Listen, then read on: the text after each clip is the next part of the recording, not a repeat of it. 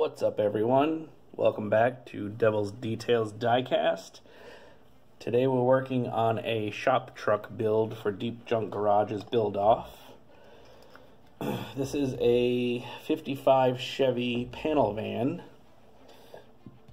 painted in the Ghost Rider motif. Uh, you'll have to excuse the front. I already started taking it apart before before I did the uh, the rotisserie here, so it's a little crooked right now. But uh, I love the panel trucks. I watch a show on uh, I think it's on Hulu called Downey Stickers.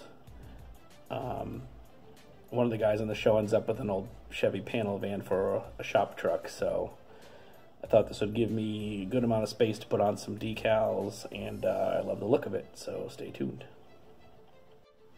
And here we're going to try the jar technique that I see some of you guys doing. I usually brush this on, but the newer paints have been giving me a hassle getting off, so away we go into the orange goo.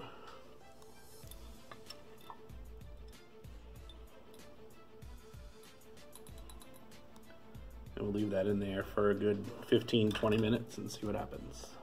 So while I was at Hobby Lobby the other day, I found this cool DecoColor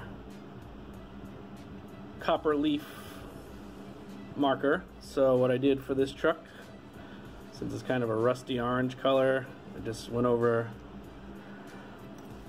the wheels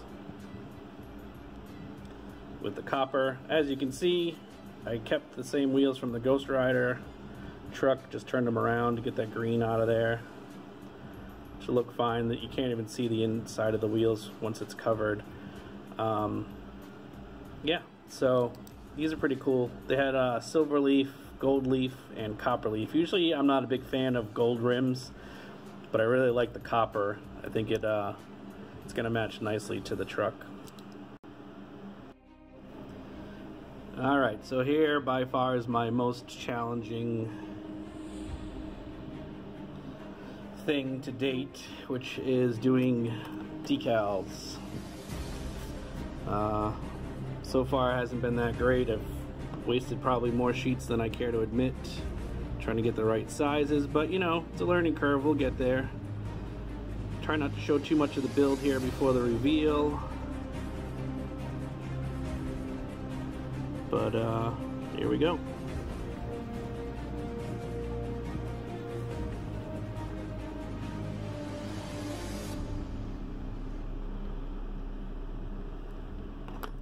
It's hard to see.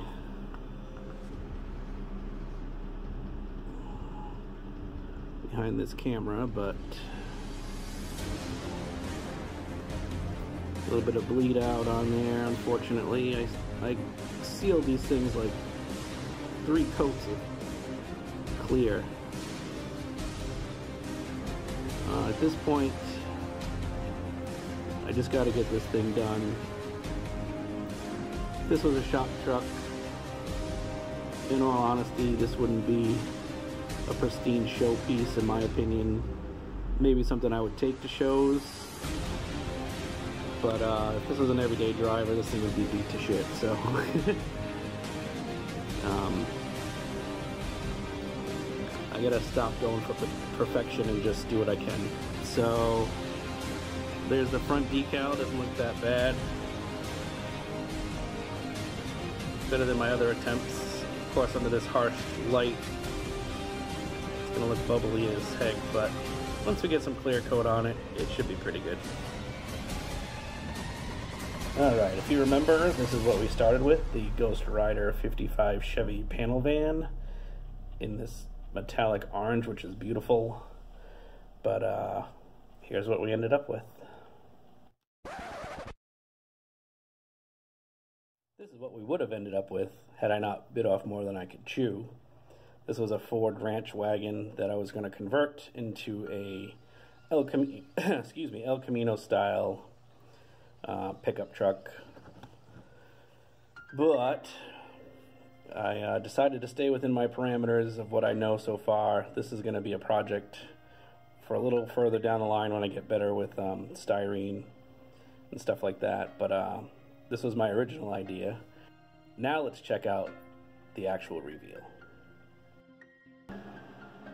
Pretty happy with this how this came out. I originally had painted it an olive drab because um, I wanted to do a a working shop truck per se, uh, kind of a dull army green color. However, it was a little too bright for my liking. It was too dark. The decals wouldn't show through. Uh, so I had to go with a lighter color, which I'm glad I chose this. It's kind of funny that I actually painted it almost the same color that it came in. But uh, I really like this fiery red. It's from Testors, Testors Extreme Lacquer. It's called Fiery Orange. Sorry, not red. Fiery Orange. Uh, a lot of firsts on this one for me.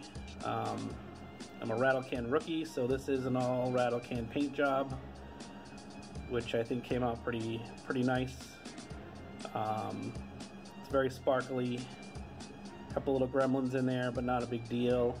Um, but yeah, I had this in olive drab, and I literally had to strip it about two and a half days ago. so uh, this came together fairly quickly this weekend. This would be a shop truck that I would take to shows versus, you know, hauling cars or junk pieces. Uh, I do plan on making another shop truck that's a little more used and road, road worn. Uh, as you can see, you got the copper rims.